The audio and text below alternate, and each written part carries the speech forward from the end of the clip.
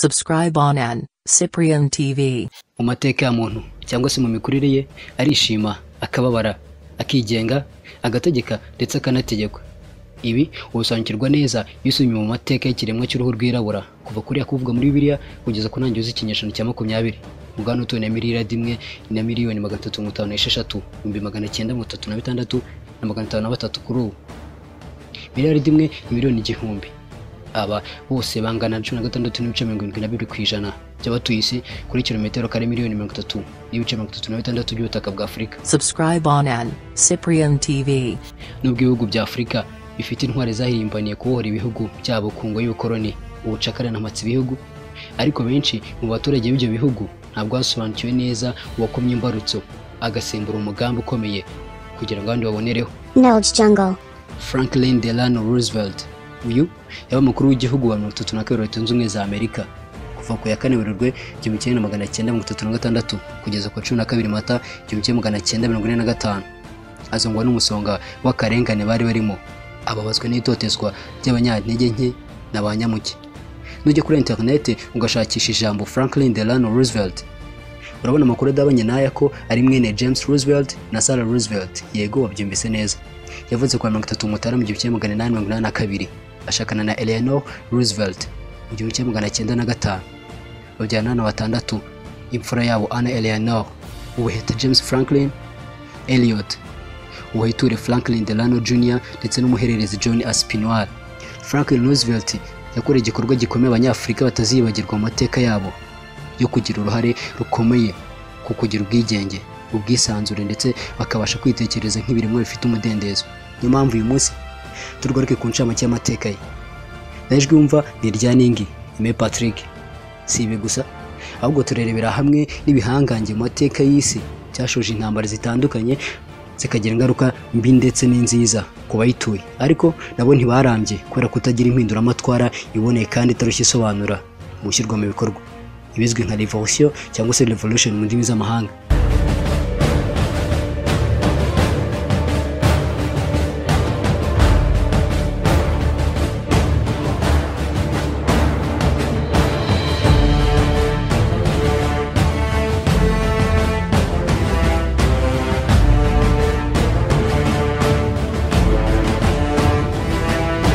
My fellow Americans, last night when I spoke with you about the fall of Rome, I knew at that moment ibyo franklin delano roosevelt yanyuzemo kugira ngo aharanire kugera ku cyo yifuza cyamuzaga ku musongo w'ubwigenge bwa afurika byaturutse ku ntambara ya kabiri y'isi yose yagabwe na adolf hitler wari umuyobozi w'igihugu cy'ubudage akaba n'umuyobozi w'ishyaka ry'abanazi.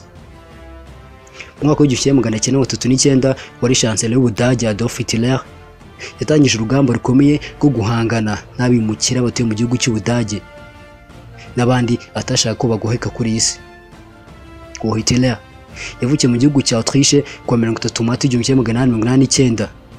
Inyandiko zo mu bwana bwe zigaragaza neza ko yari umwana ugaragaza kutanyurwa mu buzima bwe. Uhora acecetse kandi w'umunebwe gusa akagenda ku gitsure cya se umubyara. Ku bw'amahirwe make nyina yaje gupfa ku myaka cumi n'ibiri mu gihumbi kimwe magana cyenda na karindwi azize indwara ya kanseri. Kuko Hitler afite imyaka cumi n'ibiri y'amavuko gusa. Nyuma y'urupfu rwa nyina Hitler yahise atangira kuba mu kigo cy'imfubyi kuko nta bushobozi yari afite bwo kwirwanaho ndetse atahagarika amashuri. Icyo gihe Adolphe yaretse ishuri ndetse atangira kwikuramo inzozi ze zo kuzaba umuntu usiga amarangi ku mazu nk'uko yari abyifuje kuva na mbere. Muri gicurasi igihumbi kimwe magana cyenda cumi na gatatu Hitler yavuye mu mujyi wa Vienna ho muri Autriche yerekeza i Munich mu gihugu cy'Ubudage kuri ubu ngubu bahazi neza. Aha ni ho yahise yinjira mu gisirikare. Aho yagize akarere ndetse aba umuhati ko ashoboye kuba umusirikare. Aha mu gisirikare yakomeretse inshuro zigera kuri ebyiri ndetse aza kumara amezi abiri mu bitaro aho yavuze ko ari isomo rikomeye yize mu buzima bwe. Gusa Hitler yakomeje gushimangira ko atazigera atsindwa ku rugamba na rimwe. Aho mu mwaka w'igihumbi kimwe magana cyenda na cumi na rimwe. Nibwo yahise aba umuyobozi w'ishyaka rya nazi ryari rishyigikiye abantu bafite inkomoko mu budage. Muri icyo gihe kandi mu gihugu cy'ubudage hari ikibazo cy'abimukira benshi barimo abayahudi abaromani abirabura ndetse n'abandi benshi. Ni ishyaka rya nazi ryari rifite abanyamuryango barenga ibihumbi mirongo itanu na bitandatu ndetse n'abandi barishyigikiye mu mpande zitandukanye z'isi. Mbese bavuga ko ryari ryaragafashe mu mvugo y'ubu ngubu? Ku wa makumyabiri na gatandatu gashyantare igihumbi kimwe magana cyenda makumyabiri na kane hitler yatowe muri yombi azira kuvutsa abantu ubwisanzure n'umudendezo. Ubwo yagaragaza ishyaka ryo kurandura burundu utari umudage wese. Nk'ukuriye ishyaka rishyigikiye kwishyura ukizana kw'abenegihugu kw'abadage. Icyo gihe yakatiwe gufungwa imyaka itanu. Gusa aza gufungurwa nyuma y'amezi icyenda. Muri ayo mezi icyenda gusa. Yanditsemo igitabo ndetse agishyira hanze akimara gufungurwa. Icyo gitabo yakise main kampf. Ugenekereje mu kinyarwanda bishatse kuvuga ngo urugamba rwanjye. Hitler akimara gufungurwa yahise ahanwa ku buryo atemera kongera kuvugirwa mu ruhame kujya mu mwaka w'igihumbi kimwe magana cyenda makumyabiri na karindwi. Durch Ihre Blicke weiß ich, mein Lebenskampf ist nicht umsonst gekämpft. w'igikubita ubwo ari mu gihumbi kimwe magana cyenda mirongo itatu na gatatu mu matora y'umukuru w'igihugu. Hitler yaje ku mwanya wa kabiri. Gusa nyuma y'umwaka umwe gusa perezida hindenburg wari waratowe yahatiwe kugira hitler chancellor w'ubudage ku ngufu ngo kuko yari akunzwe ibizwi cyane nk'ubusitari kuri ubu. Nyuma y'imyaka itanu gusa agiye ku butegetsi ubwo ari mu gihumbi kimwe magana cyenda mirongo itanu n'icyenda. Hitler yatangiye gushyamirana n'uburusiya afatanyije n'ubutaliyani igisubizo buri wese ahita yumva aha ngaha nta kindi usibye itangira ry'intambara ya kabiri y'isi yose. Hadaciye kabiri. Yabonye ko yibeshye kubwo guhangana n'uburusiya kandi bigaragara ko batanganya imbaraga. Ahitamo kugirana nabo amasezerano y'umubano udakemangwa muri byose. Burya ngo akaba yicwende ntikoga. Hitler yabonye neza ko adashobora kugobera ku mbaraga z'abarusiya. Asa n'utsinzwe. Gusa ibi byari mu mayeri. Noneho yadukira umuturanyi we w'igihugu cya polonye w'imyantege nke atangira kuyigambanira ashaka n'uko azayitera. Bidatinze ku ya mbere nzeri igihumbi kimwe magana cyenda mirongo n'icyenda adolf atangiza ku mugaragaro intambara kabiri y'isi yose. Yamaze imyaka itandatu yari mu gihugu cya polonye kuko yasoje tariki ya kabiri nzeri igihumbi kimwe magana cyenda mirongo ine na gatanu. Ku itangira ry'iyo ntambara harimo ibihugu bishyamiranye biturutse ku bugome hitler yari agiye gukora igihugu cya polonye n'ibindi byaje ku ikubitiro ari byo twakwita bagashoza ntambara. Ku ruhande rumwe rw'abahanganye harimo ingabo z'ubudage ziyobowe na adolf hitler nyirizina zifatanyije n'ingabo z'ubuyapani ziyobowe na hirohito umwami w'abami w'ubuyapani ari kumwe na minisitiri w'intebe hideki ndetse n'ingabo z'ubutaliyani ziyobowe na benito mussolini.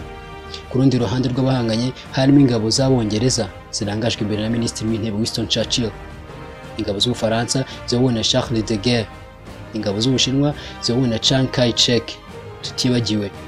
N'ingabo z'igihugu cya polonye zirangajwe imbere n'umuyobozi w'icyo gihugu. Nk'uko vini mara igihe ariko uburyohe bwiyongera. Ni na kuko intambara rushagaho kugenda imara iminsi. Niko byabaga ngombwa ko ibindi bihugu na byo byinjira muri iyo ntambara kugira ngo bafashe bagenzi babo bafitanye umubano kandi birengere ubusugire bwabyo. Kuko hari igihugu cyashakaga gutera ikindi ariko giciye mu butaka bw'ikindi gihugu. Ibyo bituma uburakari bw'ibihugu hafi ya byose byo ku mugabane w'uburayi bubyuka. Bose bijanika muri iyo ntambara karahava.